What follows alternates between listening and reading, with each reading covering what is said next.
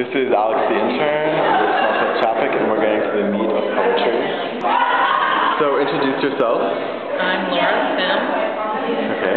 And so I have one question for you, Okay. and one question only, Okay. and maybe a little follow-up. Okay. So the question is, if poetry were a food, what food would it be? And why?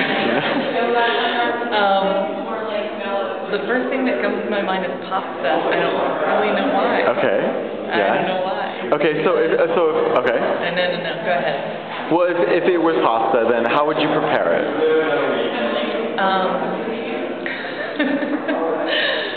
um, with fresh tomatoes, garlic, Oh, lots of garlic. Lots of garlic. lots of garlic, olive oil, and uh, and maybe like that. Very simple. Simple. Okay, nice. Yeah. Nourishing. Nour yeah. And how often would you eat it? Every day. Every day. nice. That's all we got. Thank you.